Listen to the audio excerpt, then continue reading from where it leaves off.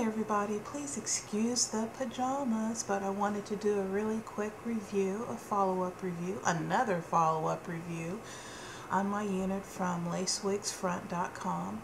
This is, yes indeed, again, the uh, Chinese Virgin uh, Light Yaki in the natural color, 16 inch.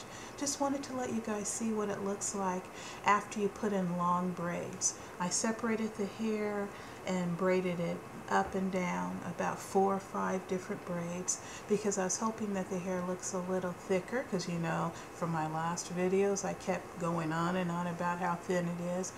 Well, I actually like this. Um, this is what it looks like after you braid it. And I did spray it with um, some curling spray um, from Twisted Sista. Um, but I have a feeling this would have, I didn't put that much in there. So if you just added water, this is what it would look like. So I just wanted to give you guys an opportunity to see what it looks like after you braid it. So here you go. Let me turn around.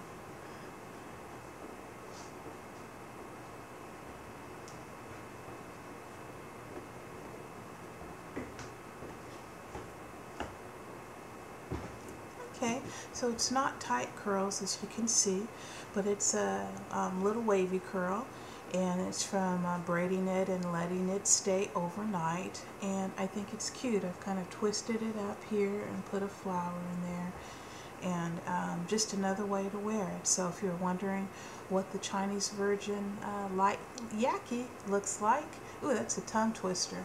Um, what it looks like um, after you braid it in four braids, this is it. Okay, take care.